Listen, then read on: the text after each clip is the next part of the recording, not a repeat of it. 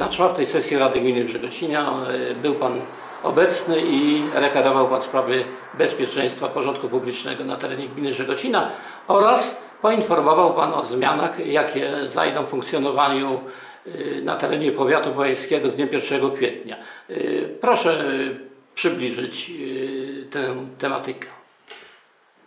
Panie redaktorze, mm, tak właśnie na sesji poświęconej bezpieczeństwu dzisiaj, w dniu dzisiejszym, przedstawiłem mieszkańcom tego regionu mm, sposób funkcjonowania Komendy Powiatowej Policji e, w Bochni i posterunku Czcianie, e, Żegocinie i w Łapanowie w nowych strukturach organizacyjnych Komendy Powiatowej Policji w Bochni.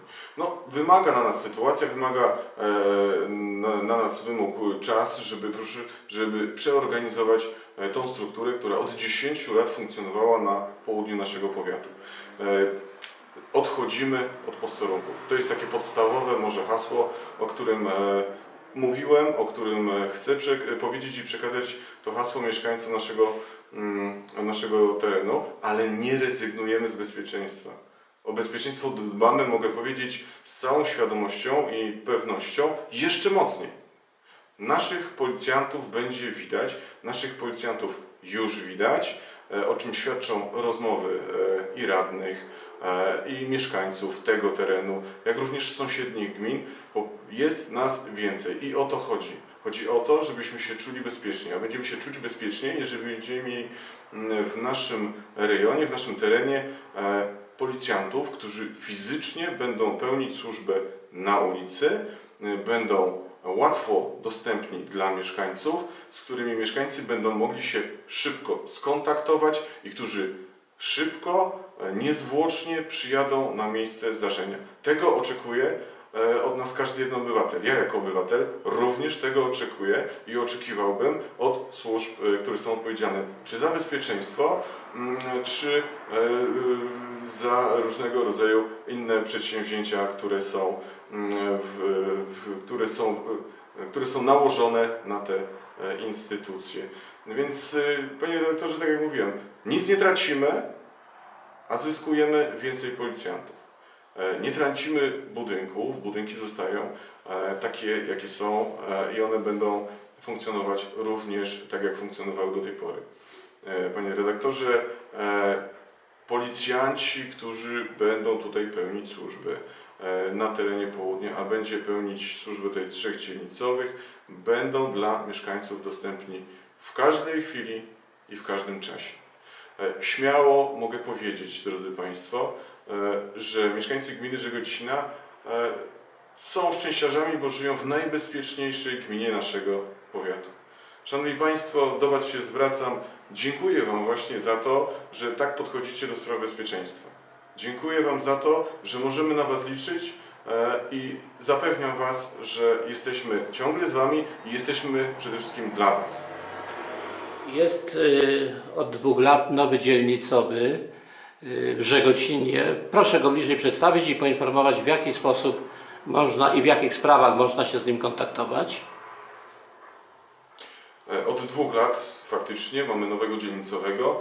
Jest nim młodszy aspirant Franciszek Piech. Jest policjantem doświadczonym, z, kil- z kilkuletnim e, stażem w policji. E, Jest człowiekiem bardzo kontaktowym, z którym można porozmawiać o różnych sprawach. E, Można porozmawiać z nim o sprawach, które e, nurtują mieszkańców gminy Żegocina, które są dla nich uciążliwe, ale można również przekazywać informacje o różnego rodzaju zagrożeniach, które są bądź których mieszkańcy się obawiają, bo ten policjant, policjant pierwszego kontaktu mm, będzie takim łącznikiem e, między e, społeczeństwem a komendantem komisariatu w Nowym Wiśniczu, który jest odpowiedzialny za bezpieczeństwo na terenie pięciu gmin e, i na tym terenie również będzie odpowiedzialny. Kontakt z panem Piechem mm, będzie możliwy pod numerem takim najprostszym i, najbardziej popularnym 120 112 bądź 997 poprzez dyżurnego naszej jednostki, bądź też można się kontaktować z panem Piechem bezpośrednio w każdą środę. W każdą środę między 10 a 12.30 pan e, aspirant Piech będzie tutaj w tym budynku, w tym budynku posterunku, który, tak jak mówię, dalej jest w naszej dyspozycji i tutaj się nic nie zmienia. Ja może, panie redaktorze, pozwoli pan przy okazji, mm, powiem jak będzie to funkcjonować i w Łapanowie, i w Trzcianie, e, więc e, drodzy Państwo, e, 10 do 12.30 są takie stałe godziny przyjęć dzielnicowych. We wtorek w Łapanowie, w środę w Żegocinie i w czwartek w Trzcianie. W tych godzinach będzie tutaj policjant, do którego można podejść i z którym będzie można porozmawiać o sprawach nas nurtujących. E, Apelował też do radnych, a tym samym do miejscowego społeczeństwa o zwracanie uwag na nowe e, zagrożenia, nowe e, obowiązki wynikające z nowych przepisów. Czy mógłby Pan powiedzieć o tym, o co Pan apeluje do społeczności lokalnej i na co miejscowa ludność powinna zwrócić uwagę? Szanowni Państwo, mm, więc y, zagrożenia, jakie obserwujemy w ostatnim czasie, to są zagrożenia związane z cyberprzestępczością. Powiem tak ogólnie i tak bardzo dosadnie, a e, tak konkretnie chodzi nam tutaj o zakupy dokonywane za pomocą internetu. Bardzo dużo przestępstw i oszustw w ten sposób jest popełnianych w ostatnim okresie czasu. Ja apeluję do Państwa, e, żebyście Państwo roztropnie i rozważnie podchodzili do tego typu zakupów.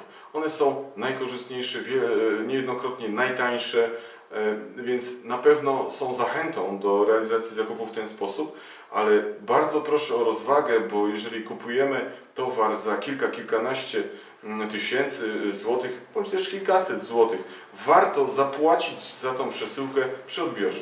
Wtedy mamy pewność, że zamówiony towar to będzie ten towar, e, na który oczekujemy. Nie będziemy rozczarowani e, i no niejednokrotnie zdruzgotani, bo to będą oszczędności naszych kilku miesięcy e, i o to, apelu, o to apeluję. Mm, Dziękuję Państwu za mm, jeszcze raz za ten rozsądek e, i za tą życzliwość e, jako mieszkańców e, tutaj tego rejonu. Mm, Apeluję do wszystkich również o rozwagę, jeżeli chodzi o e, użycie, używanie alkoholu. E, Jazda po alkoholu jest, była i będzie bezwzględnie eliminowana przez policjantów e, tegoż e, tutaj punktu i komisariatu policji w Nowym. Nic się nie zmienia. Jestem, stoję na stanowisku, że każdy człowiek, który wsiada za kółko po alkoholu jest potencjalnym mordercą. Apeluję do Państwa z tego miejsca, nie gódźcie się na to, żeby Wasi bliscy po alkoholu wsiadali za kółko. Nie pozwalajcie na to, bo sami kiedyś będziecie mieli we własnym sumieniu współudział e, w tragedii, do której może to doprowadzić. E, Kolejnym, e, panie redaktorze, takim elementem, który jest bardzo istotny i na który trzeba zwrócić uwagę, to jest właśnie używanie elementów odblaskowych, które od zmierzchu do świtu mamy obowiązek nosić poza terenem zabudowanym. Od kilkunastu miesięcy ten przepis y, funkcjonuje. My bierzemy udział w różnego rodzaju działaniach mających na celu raz informowanie, dwa przekazywanie takich elementów odblaskowych, e, trzy wreszcie reagowanie na wykroczenia popełnione przez pieszych e, nieposiadających tych odblasków. E, Możecie Państwo powiedzieć, że mamy tabliczkę Żegocina i już jest teren zabudowany, ale zwróćcie uwagę, że są takie miejsca, że tam nie ma chodnika. Owszem, możemy, nie powinniśmy karać Państwa za to, że nie nosicie mm, tego odblasku akurat w tym miejscu, ale pomyślcie o sobie, pomyślcie o swoich bliskich. E, Was naprawdę nie widać. Każdy z nas, kto jeździ samochodami po zmierzchu, doskonale wie, że minimalny element odblaskowy, który się nam pokaże, jeże- jeżeli jedziemy w ciemnościach, już wzbudza naszą czujność i powoduje, że ściągamy nogę z gazu e, i właśnie o to chodzi. Chodzi o to, żebyśmy bezpiecznie dotarli do domu. I na zakończenie, czego by Pan życzył yy, naszemu tu żegocińskiemu policjantowi, czyli Panu dzielnicowemu? No, życzę mu wszystkiego dobrego. Życzę mu jak najmniej e, interwencji. Życzę mu jak najwięcej takiej ludzkiej życzliwości, bo to jest naprawdę bardzo potrzebne e, e, w takim codziennym e, życiu. E, życzę mu e, sukcesów i wszystkiego dobrego, a to jest naprawdę dobry człowiek. Jeszcze raz Państwu mówię, można z nim porozmawiać jak z przyjacielem. Dobry, konsekwentny, e, spokojny, przyjazny człowiek. Panie komendancie, czyli obiecuje Pan, że mieszkańcy gminy mogą się czuć bezpieczni nadal tak jak było przed zmianami z 1 kwietnia? Tak jest, panie redaktorze, tak jak powiedziałem na wstępie, wręcz przeciwnie, znaczy przepraszam, pójdźmy dalej, krok do przodu, e, będzie jeszcze lepiej. Dziękuję bardzo. Dziękuję bardzo.